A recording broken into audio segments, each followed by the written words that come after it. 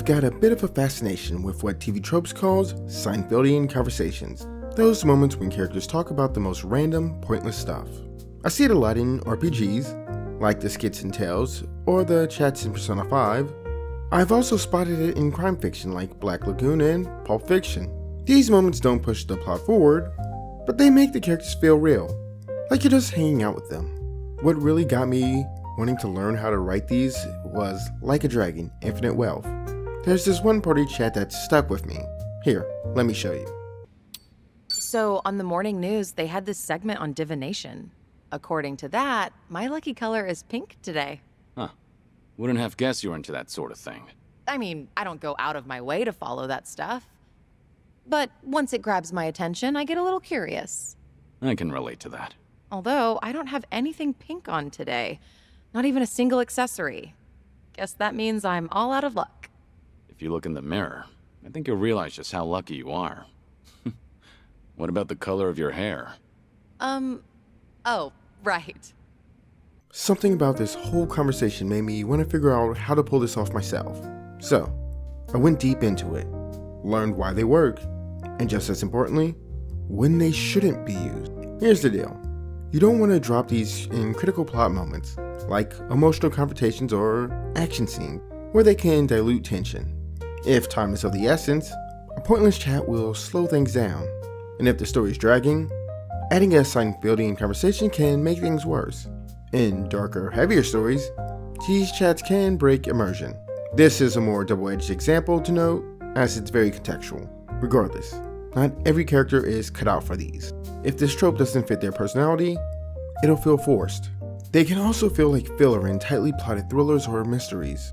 But even with all these cautions, I still think this is an incredibly valuable tool. It's not about if you should use it, it's about when and why. When done right, this trope brings way more than just funny moments. These conversations create this warmth, this feeling that you're just hanging out with the characters.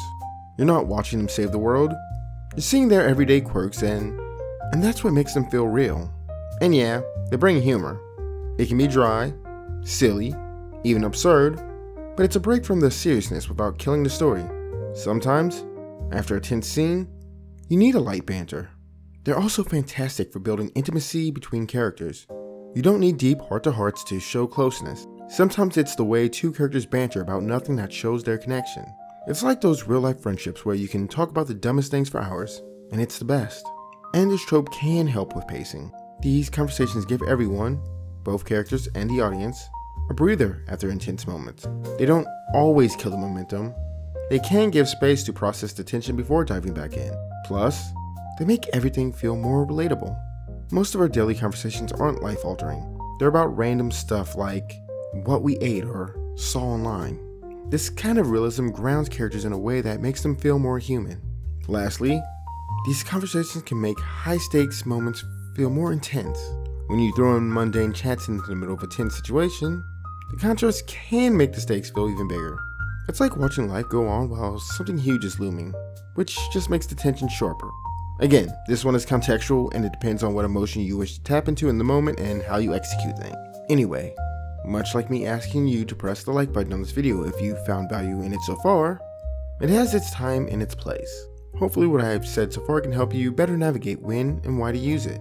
And hopefully, what I have to say next helps you navigate the how as I have 10 tips to consider when trying to nail this. 1. Pointless but engaging topics. Pick something completely trivial, like how to properly fold socks or whether the second stall in the bathroom is the best. The conversation doesn't need to matter. What makes it interesting is how much the characters care about it. The more ridiculous the topic, the better. 2. Exaggerated passion for mundane things. Characters should act like the smallest details are monumental. Imagine two people hotly debating whether moist or damp is the better word, with each defending their side like it's a national crisis. It's the intensity over nothing that makes it funny and engaging. 3. Unplanned topic shifts. Let the conversation wander naturally, without a clear transition. One minute they're discussing the best way to tie shoelaces. The next they're questioning whether aliens even wear shoes. It should feel like a natural yet completely random progression of thoughts. 4. Comedic intellectualism. Have the characters apply way too much logic or philosophy to their argument. Maybe they try to figure out if a hot dog is a sandwich by quoting philosophers or analyzing the definition of bread. The fun comes from watching them take something ridiculous way too serious. 5. Timing and pacing. Don't rush the conversation, but don't let it drag either. Seinfeldian conversations thrive on rhythm. Let the characters bounce off of each other, but make sure the conversation keeps a certain flow so it doesn't lose energy. 6.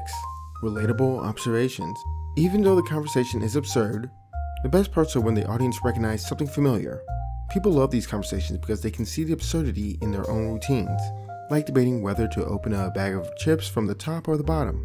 It's the small, everyday details that hook people. 7. Embed humor in dialogue. The humor doesn't need to be flashy. Keep it dry with subtle one liners. Your characters should act as if they are dead serious about the conversation, which only makes the dialogue funnier. The humor sneaks in because the characters don't realize how ridiculous they sound. 8. Use awkward moments. These conversations often happen in mundane or awkward situations, like waiting in line or being stuck in an elevator. The tension from the situation contrasts the pointlessness of the conversation, making both stand out more. 8. No need for resolution. There's no expectation of resolving anything. The conversation can just fade out or get interrupted, leaving the characters' debate unfinished. This lack of resolution adds to the casual, aimless charm of the conversation. 10. Character chemistry. The best Seinfeldian conversations happen when characters have great chemistry, but also get a little irritated by each other. It's verbal sparring, where one character is always just a bit more frustrated by the other's ridiculousness, but they still enjoy the back and forth. So, that's the art of the Seinfeldian conversation random, pointless, but somehow deeply entertaining. If you're ready to start throwing some into your own stories, I want to hear about it. In fact, here's a challenge for you. Drop a comment below about the weirdest topic you can come up with that you'd like to see characters debating or discussing in a story. I look forward to seeing what you can cook up.